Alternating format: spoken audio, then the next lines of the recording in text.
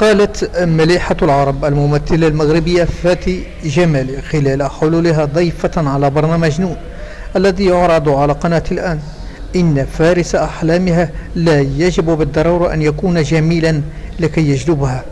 واعتبرت الفنانة ذاتها أن عملية الجذب تحدث خلال الدق الدقائق الخمس الأولى من اللقاء فقط في حين أن الجمال الداخلي أو جمال الروح هو الذي يدوم. لا يعجبني الرجل الجميل ذو الملامح الناعمة كالعيون الملونة أو الشعر الأشقر بل أفضل الرجل الخشن ذا الملامح القوية ونسميه برجل حرش بالدارجة المغربية.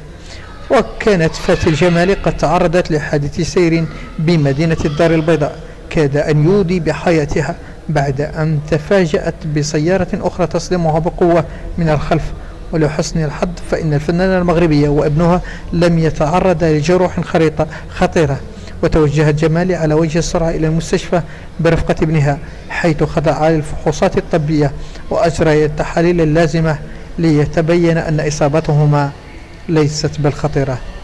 المشاهد TV. قبل ما تخرجوا ما تنسوش تابوناو في la chaîne يوتيوب وبارطاجيو الفيديو مع أصحابكم في مواقع التواصل الاجتماعي وما تنسوش ديروا جيم.